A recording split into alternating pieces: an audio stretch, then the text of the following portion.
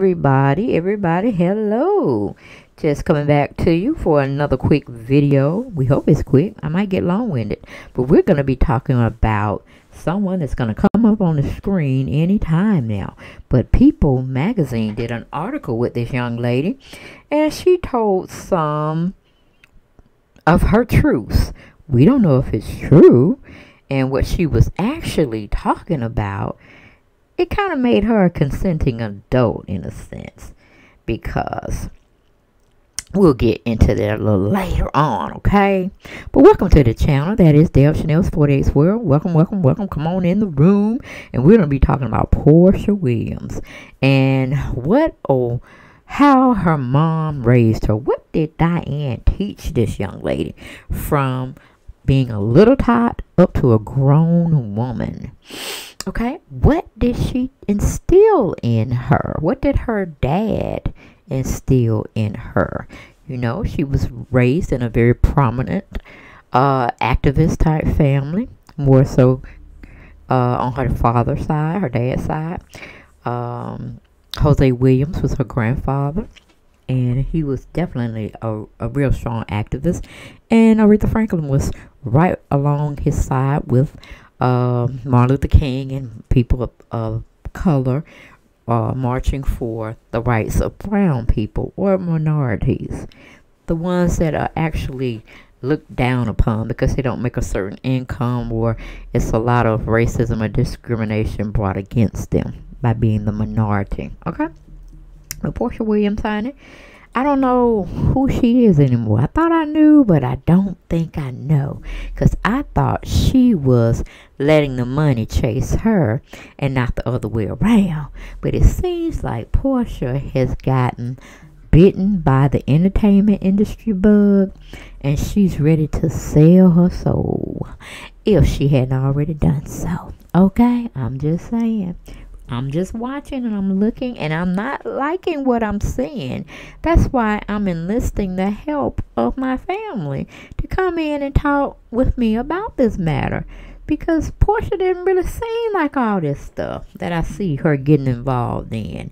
And I'm like, she has a mother that's still living. And what does her mother feel about it? And I can't say that the apple don't fall too far from the tree. Meaning, her mother has always been a very big willing participant to be filmed on the Real Housewives of Atlanta and showing the comings and goings on how her daughter Porsha gets down. Okay, if you catch my drill.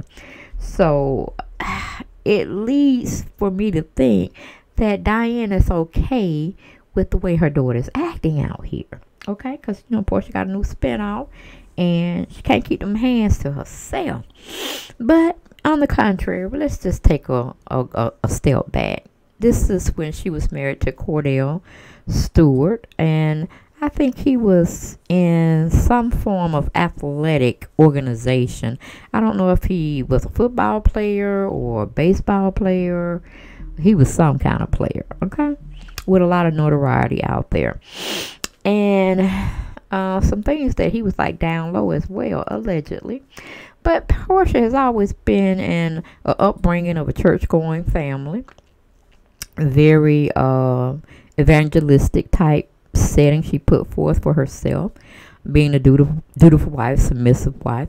And she somehow got on the Real Housewives of Atlanta. Now, at first, I thought, as other people had thought, that the Real Housewives of Atlanta was going to be bringing, you know, some notoriety to black affluent people and we were going to be introduced on how the upper echelon people live and get down in their businesses and their comings and goings with just living life a lucrative way of living life and being successful. But as we have been shown by porsha Williams and all her antics, she has been through several men looking for love after she got divorced from kordell Stewart and she just went wow just went wow just forgot about everything and everything she was taught raised brought up however okay giving her the benefit of the doubt but she got on this ratchet show started messing with one in particular guy that she ended up getting pregnant by and as we know from the filming of the show. He cheated on her while she was pregnant. And she was going through a lot of emotional turmoil with filming and just dealing with the whole aspect of that happening to her and the downfall that was going to be, she's going to be talked about through the social media wavelengths. And yes she was but people were more so favoring her you know and, and and hoping that she could salvage her family for the sake of the baby you know major mistake because you always should be there for you and your mate. That's the only way you can form a happy union. Can't be for the kid and you sitting up there being miserable and still doing the same thing. You know what i'm saying? Making like witness say you look like a piece of you know turd okay? Manure. But anyway we got Prince over there speculating with that one eye uh, arched up like he don't quite understand what's going on. Because I'm still not understanding what Porsha's doing out there in them streets either. And as you know, as ratchet as the housewives got, she called herself dating or getting in the mix of something that just wasn't quite clear as a breakup between one of her co-stars, who was was named Falynn.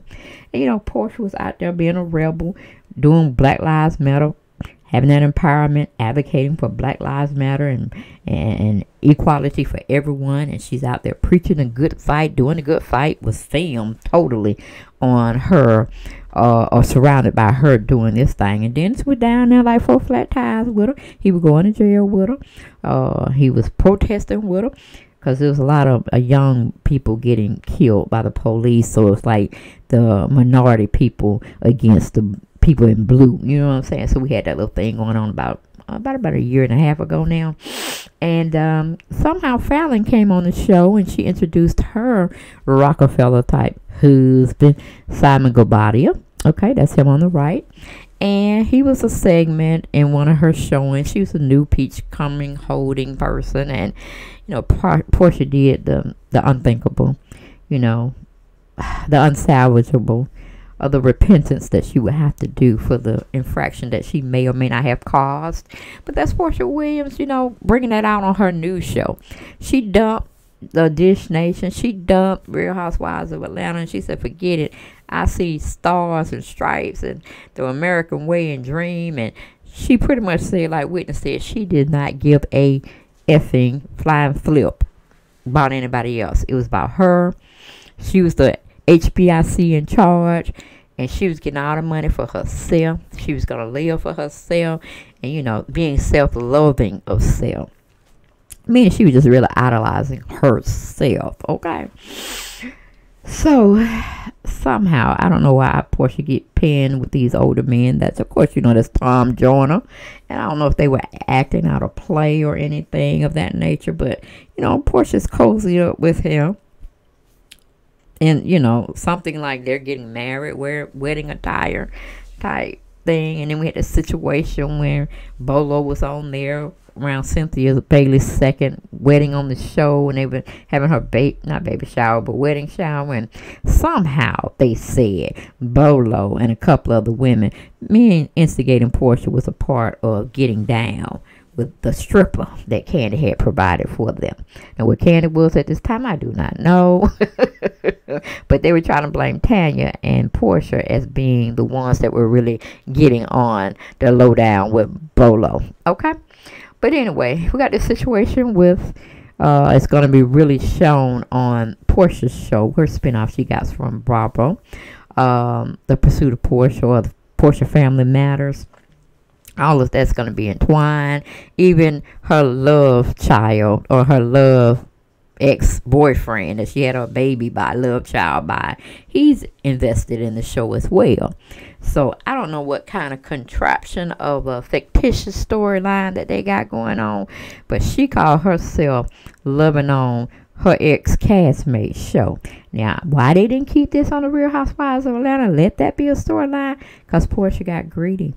Porsha saw things for herself, so she wanted a spinoff. So she's taking this storyline of her taking someone else's husband, per se, allegedly, Porsha got another story, and we're waiting for it to develop on November 28th to see how it really got down. Because we hear we heard balance side.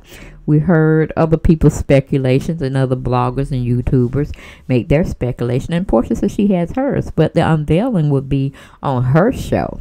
So it seems like Porsha has enlisted her family members to make a royal fool out of themselves because ain't nothing really wholesome on these ratchet TV shows.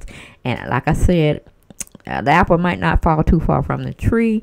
Diane may, meaning Porsha mom, may have showed her the tricks of the trade or how you invest in older men and they take care of you for the rest of their life. You know, living like that white privilege type life, but Diane's black, of course, you see. Um, she know what she was doing when she was getting into the civil rights uh, activist family because Porsha's dad was related to Hosea Williams. I, that was his uh, dad, actually.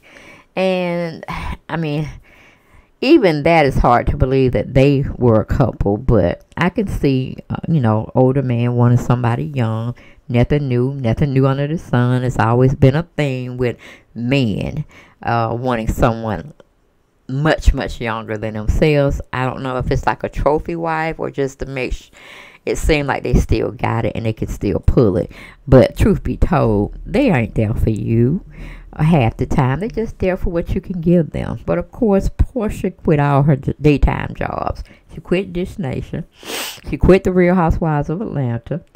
And she was guaranteed, allegedly, maybe two or three seasons of the new show she got running, which is uh, Porsha Family Matters over at Bravo. So, like I said, she enlisted herself. She knew exactly what she was getting into. And she, to me, it's like she's taking on a Jezebel spirit where she's just going to seduce and get whomever she wants. And right now, she wanted uh, Mr. Simon uh, to fill in as her sugar daddy, her fiance, her queen to her own throne in Nigeria. And I'm like, where's your mask? Where's your covering? All these people got covering over their faces besides you, Porsha. What's up with that? Did you get the shots? Or what are you doing? You need to be just as vigilant as keeping safe as those people that are surrounded by you that hopefully maybe, I don't know, one day be your servants. But again, I think Porsha is chasing the money. She's not letting the money be fruitful and prosperous uh, towards following her and her endeavors.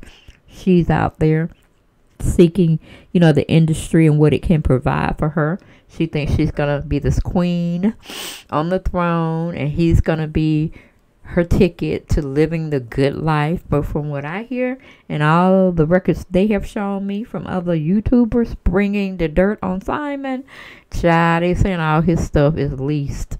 Okay. And you can pretty much say a lot of celebrities. They're leasing a lot of stuff. They're leasing to own, not necessarily have bought it out, and they're collecting uh, residue, or not residue, but uh, what do you call it? Uh, residual money from it, like it's they're getting interest from what they bought as property. Nine times out of ten, they leasing everything.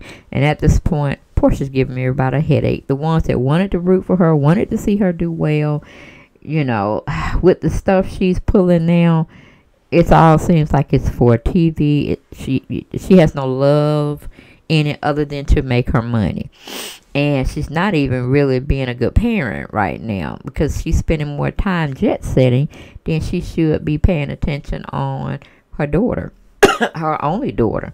And if she don't um, watch out honey if anything goes wrong or south with her show i'm sure dennis mckinley is going to be the first one out there uh, trying to sue porsha for um, not alimony, but child support, because he's going to be willing and waiting to take the baby. If it not be for his mother to raise her, meaning PJ. Because, you know, you could see Porsha doing a lot of things. Now you just see Porsha half the time on a beach or sitting in the sun in a bikini. Like, who, what, when, where? You didn't do this when you were trying to make your money on Dish Nation and the Real Housewives of Atlanta. You were working. You had your hairline, which I hope you still have, and you had your bedding line, and you were trying to come up with some other stuff. But lo and behold, Porsha quit them jobs. besides the internet selling of her products or whatnot. But you know, the ones that were actually, you know, formulating res- residual money coming back to her, she quit them. Like up, out, bam, gone. Now she done tagged on something else that is totally incredible. You wouldn't have even thought that she was a part of it. And right now, my spokespeople, may they rest in heaven or hell, wherever they may be, not really sure, they're speaking out. Okay? And Porsha called herself wanting to be a singer back in the day when she was pretty much 25, is what I'm hearing, or I'm getting from people.com on this interview they did with her, sporting out her Pursuit of Porsha's book and a little story she got going on. I'm like, honey, when they were alive, Prince, Aretha Franklin, um, Whitney Houston. Hell, I forgot to put Luther Vandross up there. But these were vocalists. These were bad mama jammers and, and, and now women. And men, well, I can't. They were like Rick James, okay? They were like super, super freaks out there. All right? S- sang us. You know what I'm saying? They could sing. Okay, not sing, but sing. All right. You should ask them, could you sing? And they probably would have told you flat out, no. and the voice, the voice, Whitney Houston, you ain't have to do now, but just give her a little something like you know that, that she probably said, "No, baby, do it one more time."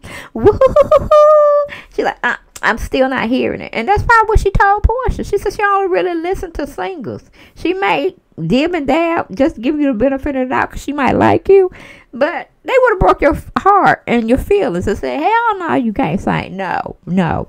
Give it up. Go do something else. Be a model. That's what she probably would have told Porsha. You got the body, you got the thing, you got the looks. Be a model. But you know, if you didn't come out with this sensational story that you felt needed to be put in a book and broadcasted to the millions of people that would want to read your book, either by it being, you know, leather bound and they buy it that way and, and flip through the papers, or they, you know, bought it on ebook. Couldn't you have told your story when the shit was hitting the fan, when everything was just hot like lightning, and everybody and their mama, including this man's wife at the time? Drea, couldn't you have come out then? Now you're gonna wait till the pursuit of Porsha and spill all the beans and say you had to stand up for women's rights and the uh, domestic violence and everything that it entailed. You had to speak up for women. You had to come out and put salt on this man's name, the Pied Piper. I'm like, are you kidding, Porsha? Where was this situation happening? millions of people want to know. And if this was a plot or a ploy to buy your book, if I had the time and the inclination, just because I was in the spirit of the holidays, I wouldn't even purchase it because totally wrong. Totally wrong, totally wrong, totally wrong. Like I said, when every other masses of everybody coming out, men and women, children or whatever that was, you know, animals, they were being heard during that time. Now you want to come out and say this young man offended you in some kind of way or afflicted you in some kind of way. Girl, that's just too much. Too much. And I'm not buying it, Porsha. I'm not buying it on the the premise of you doing it to help other women. I'm thinking you're solely doing it for a plot for people to buy your book and just be looking for those excerpts that you want to bring out. Forget about the other stuff you may be talking about. This is sensational. This is headlining, breaking, exclusive news, and you you want to push your book to make money. Shame on you, Porsha. Shame on you. Shame on you. But let's get into the people's um people.com they wrote up an article on Porsha and talking about this book that she is using as a plot ploy to make money off of a bad situation. Okay? But anyway, she titles it uh, Emily Strohm or somebody like that from People's uh, Magazine uh, cast or um, entourage or writing team They titled it Real Housewives of Atlanta. Porsha Williams reveals she spoke to the Popos about her own experience with the Pied Piper. Okay? She said, I realized it was my opportunity to help anyone who's been hurt by him, she tells People magazine. Porsha Williams is opening up about the first time about her experience with Ah, you remind me of my Jeep fella and why she wanted to share her story with investigators. Okay.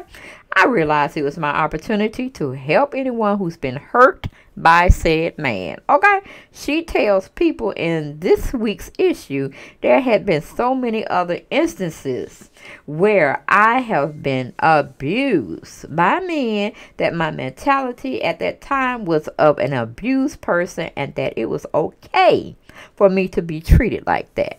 I'm like, okay, so when did you marry Kordell Stewart? How old were you then? And did you not have Jesus in your life? Because you sure was portraying that you had laid all your burdens down. You had become a new creature in the Lord, and you are going to go on that path, and, and you're going to toe the line and be very submissive to your husband, this, that, and the third. Well, you know, of course, Phylicia Rashad wasn't in that mess when they were talking about Cliff Huxtable, okay?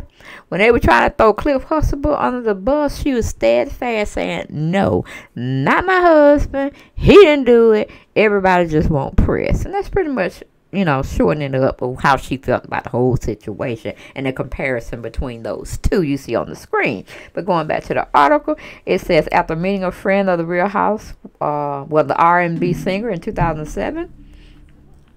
Um, wait a minute, hold up, something went wrong. Okay, 2007, the future housewives of Atlanta star, then 25, and considering a career in music, was flown to Chicago to meet who Kales and potential potentially work with him. Now again, y'all know, and I know Claire is looking like and Prince look like, oh hell no. Where did you get the tuning or the ear fashion that you could hold a tune, that you can hold a melody? Girl, where were you? Who told you? Because it showed one Michael Jackson that said you could sing like a songbird. It wasn't Aretha Franklin. It wasn't Will Smith. It wasn't the voice who we call Whitney Houston. Wasn't Prince. So who told you that you could break a tone, Porsha?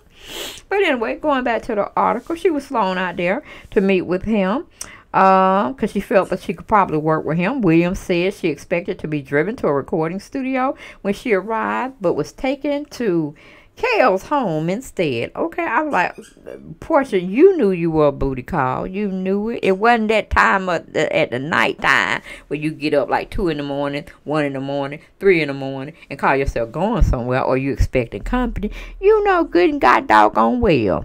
Even if you didn't learn that from your mama. I know you had some slick friends that was doing everything under the sun when they, y'all were young, trying to play dumb and innocent, but you was out there wagging it like it was hot, spreading it like it was wide. Okay, so anyway, um, going back to the interview, it says after an initial introduction to you know who we talking about, who was found guilty of racketeering and sex trafficking in September. Someone led Williams to his bedroom and left her alone there for hours. I'm like, girl, I'm sure you kept your cell phone. So if you weren't being held against your will, so I know you could have left, but you know, you wanted to, you knew what it was you knew what was expected. Okay, if you didn't know, you could put two and two together, even though we cautioned because you thought it was a train down there to take you to the Underground Railroad and y'all gonna ride to freedom. You know, I so you know, I, I get it, I got it. Good. Okay, I understand that. I understand that. But we gave you a pass on that one. And we're trying to groom you and bring you up and, and hopefully you will be able to be a better example for your daughter PJ. So she won't go out here making all these, ugh insane, insane opinions and thoughts where people can actually hear you. So, um, going back to the um, article, it said uh, when he finally joined her, she said he told her to take off her clothes. Again, Porsha, it don't have to be nighttime for you to be called as a booty call, okay? He was some you were pimping out yourself, okay? I just hope you got paid royally for it and not just a flight out there and in hopes that he would work with you. Cause he do work with folks. He worked with Mariah Carey. He worked with a lot of top artists that made hits, but them folks could sing. Now we heard your little squeaky here to do, you know, singing a gospel tune here and there. But that's all, girl. And the other stuff you made, it was kind of auto tunish. So if you didn't work with the greats, Aretha Franklin, Prince, oh, Porsha, you didn't work with nobody. And you can't sing, baby. You can't sing. But anyway, moving on from there. He had asked her to take off her clothes. I've already put myself in this position, she writes in her new memoir, The Pursuit of Porsha, available November 30th. This is what you're supposed to do. You have to. There is no turning back. Well, okay, if you want to treat yourself like a, a, a hoe, a, a, a stripper, a, a, a night woman, you know, what you call woman of the night, instead of being empowered, empowered like you were trying to advocate for blacks and, and, and minorities and the people that were getting discriminated against. If you want to do that, you know, fine. Okay, fine. You joined a Ratchet TV show. We just knew what path you were on. But hey, it was all about you. It's all about that dollar. It's all about fame and fortune. So pretty much you had sold your soul. Even if you didn't think you did, you had. If you ended up over at his house out of town in Chicago, knowing that you you already set in your mind this is a stage that you have to go through, you have to pay, you know, up front so you can get that benefits in the long run. This is just what you had to go through to uh, facilitate and solidify yourself on the big screen or in the music industry. So you knew this. So you had already set yourself, sold yourself for the highest bidder. Okay, and at the time he was the hottest producer out there. All right. And then, you know, people reached out to try to clarify what Miss Williams was saying. Was it true or not to, you know, Kale's lawyer and stuff. They like, they ain't want to, they ain't want to get involved. The, the man already serving time. Ain't getting out no time soon. Ain't no sense to spark the fire again. No, we don't put it out. We don't douse it out. We don't want to hear no more. So if everybody didn't come out when the game was getting good, you might just hold your peace until you go home and meet your maker. And that would be the best get back that you could possibly get back. Because he only can do it the way he do it and everybody's satisfied. So, going back to the article, says, William saw, uh, you remind me of Jeep man two more times and says in her book that she encountered several young women who also were staying at his home. She writes that she decided not to see him again after she woke up one day and heard a woman being Ooh, being hit on, okay, in another room. Now I'm like, hey, why you didn't call 911? Why did you go back two more times? You see what I'm saying? You got flown out two more times, or you paid your money to be flown out to see him two more times. From what we're told, these women that he had there in his home, they couldn't leave. They couldn't go nowhere. They had to ask permission to go to the bathroom. They had to ask permission to brush their teeth, wash their face, take a bath. They couldn't just say, okay, I had fun, we had fun, you know, I'll call you, you don't call me, da da da da da, and then jet off back home. These girls couldn't go home. So it's like you were talking out the side of your neck, Porsha. And we're not here for it. We're not here for it. Okay? Um, then again, she said for years she kept it a secret, even from those she was closest to. It's not something you want to tell your mom because your mom is a very strong woman. She didn't uh, want to think that she didn't raise you right, this, that, and the third. I'm like, Porsha, it may have been going through your mind, but again, people that are mothers and they're in tune to their children, they can hint when something is not right. And for you to even go knowing the dimensions and the situation you had to place yourself into wasn't one that you should have been or anybody should be forcefully putting themselves into. So no, baby girl, you can't blame the pipe. Piper, you can't blame. Chaos, you cannot blame him. Okay? Because at the at the time he was kind of liking people that were like 15, 16, 17 and you saying you were 25. Girl, no, no, no, no, no, no, no. Wasn't really checking for you. If you wanted to be a booty call, he would pay for it, just like your husband. You say treated you like a trophy wife, and down low is how he was playing. You said that, okay, on one of the Real Housewives of Atlanta. You alluded to the fact that he was that type of a man. Okay, so you saying you weren't dealing with no man. You were dealing with a man that was on the down low, allegedly.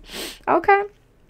But going back uh, to the article, she said, but I was glad when I did. She was glad that I told her, and we talked about it. Williams added, she told me some of her experiences, and we just talked about how this should be told to other women don't, uh, that they don't have to go through it. I'm like, you went through it, Porsha. You didn't listen to nobody.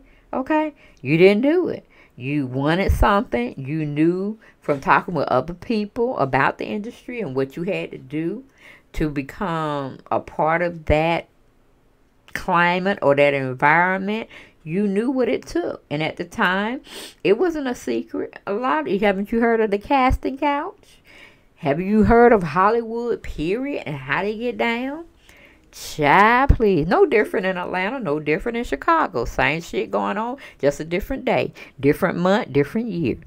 So for you to even come out here and to exploit the situation that was paramount for some underage people, that were getting done this way is pure trash. Pure trash, pure trash, pure trash. Okay? And no good come out of doing that to somebody just to sell books. Not a good look, Porsha. Not a good look. But that's all I got for this particular video, guys. If y'all like it, love it, gotta have more. Please don't hesitate but subscribe. Hit that notification button, and you'll know when I drop new videos for you to partake of. And as always, if you don't mind, please share out my content. Share my stuff, y'all. Share me out. Okay? All right. Don't stop till you get enough. Share me out and like my videos. And I will see y'all next time. Bye-bye. And don't buy Porsha book. Bye.